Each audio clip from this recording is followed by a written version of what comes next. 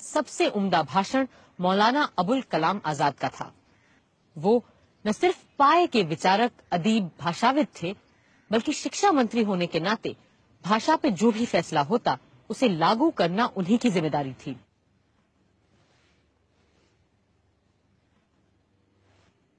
اگر ہم سب یہ چاہتے ہیں کہ انگریزی کی جگہ، ہماری وطن کی زبان، تمام ملک تمام قوم کی زبان ہو، تو اس کے سوا ہمارے سامنے کوئی چارہ نہیں کہ ایک مدت تک ہم صبر اور انتظار کریں۔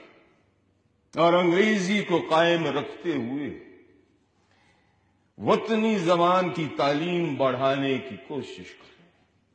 اب ایک ملک کے قوم کی زندگی میں پندرہ برس کی مدت کون سی بڑی مدت ہوئی، یہ تو پندرہ دن سے بھی زیادہ نہیں۔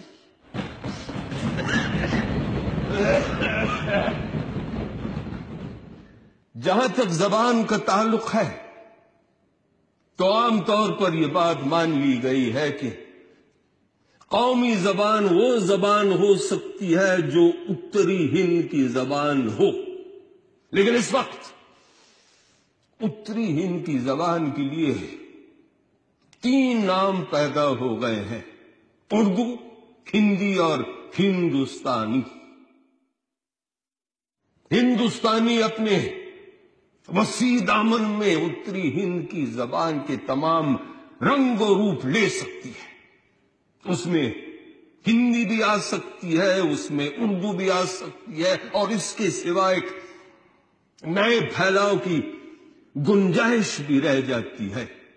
ہندوستانی کسی بھی عنصر کو خارج نہیں کرتی، بلکہ بلکہ ہر چیز کو اپنے اندر سمیٹ لیتی ہے۔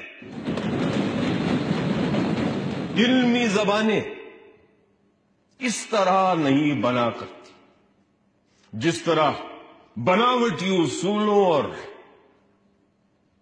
پابندیوں کے ذریعے ایک چیز بنائی جاتی ہے۔ زبانیں بنائی نہیں جاتی۔ زبانیں خود بخود بننے لگتی ہیں۔ زبانیں ڈھالی نہیں جا سکتی، بلکہ خود بخود ڈھلنے لگتی ہے آپ لوگ زبانوں پر بناوٹی اصولوں اور پابندیوں کے کفل لگا سکتے ہیں۔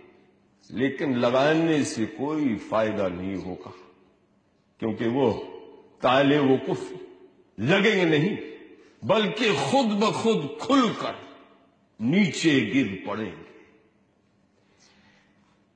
زبان کا قانون آپ سب کی پکڑ سے باہر ہے۔ ہر چیز کے لیے قانون بنایا جا سکتا ہے، لیکن زبانوں کی قدرتی چال کے لیے کوئی بھی قانون سازی نہیں کی جا سکتی ہے۔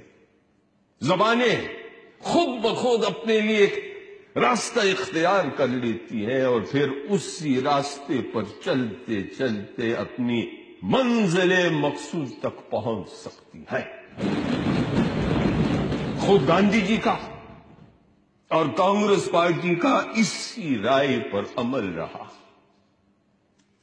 اور جب کانسٹیٹیوشن کے سلسلے میں یہ بات کانگریس پارٹی کے سامنے آئی، تو میں نے قدرتی طور پر اسی رائے پر زور دیا۔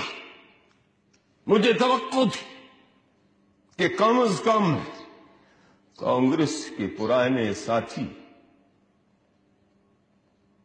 اپنی جگہ سے نہیں ہلیں گے۔ گاندھی جی کے سدھانتوں پر جمے رہیں گے۔ لیکن افسوس،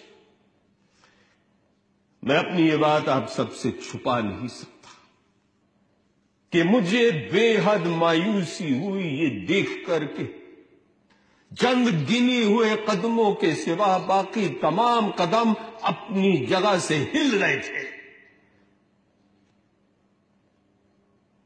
بلاخر یہ معاملہ ڈرافٹنگ کمیٹی کے سپرد کر دیا گیا اور اس کمیٹی سے درخواست کر دی گئی کہ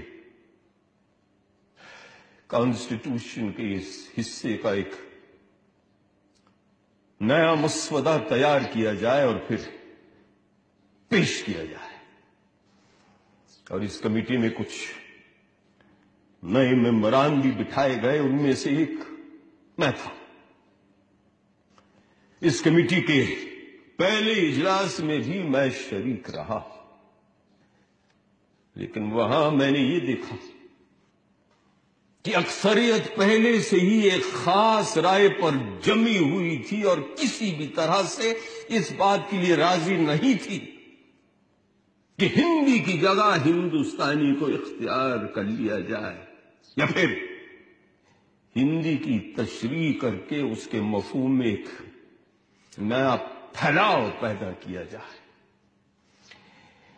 اس صورتحال میں میں نے محسوس کیا کہ میرا وہاں رہنا تقریباً بیکار ہے۔ اس لیے میں نے اپنا استعفی دے دیا اور اس کمیٹی سے الگ ہوا۔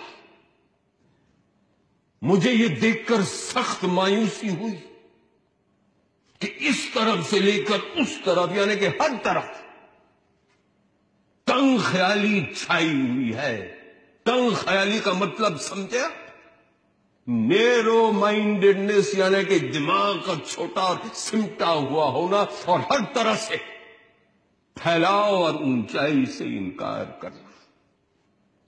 میں یہ کہنا چاہوں گا کہ ایسا تنگ دماغ لے کر ہم دنیا کی بڑی قوم ہرگز نہیں بن پائیں گے۔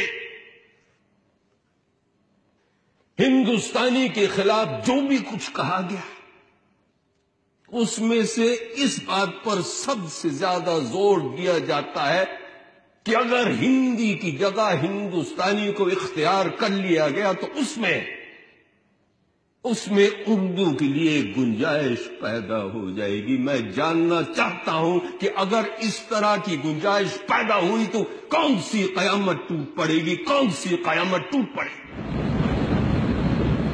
میرے دوست مجھ سے ناراض نہ ہوں گے۔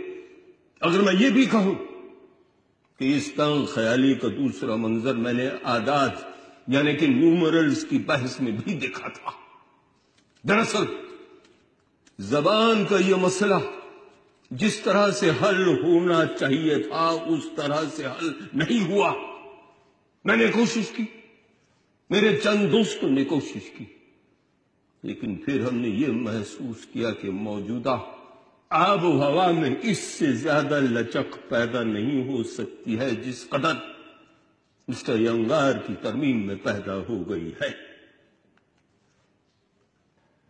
لائے اس بت کو التجا کر کے، کفر ٹوٹا، خدا خدا کر کے۔ مولانا آزاد کے اوجسوی بھاشن کے بعد شاید کسی کو کچھ کہنے کی ضرورت نہیں تھی۔